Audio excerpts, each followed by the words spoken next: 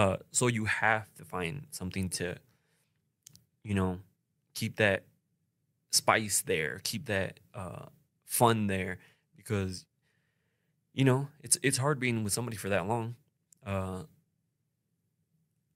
but they're a great example. You know, it's funny because when I tell people, oh yeah, they still go on like on dances and date nights and stuff like that, and uh, they're like, really, that long into each other, and they're still doing it? Yeah, because that should never stop. You know, I never did that with my ex, and I think that was an, another thing that you know ended up separating us because that was a problem too that we didn't have a date night, and then we tried implementing it way too late in into our relationship, and it was just not working. So.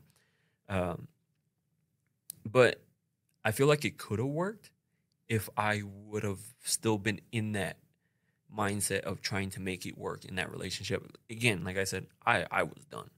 I didn't want to do it anymore. I was just trying to find an out. And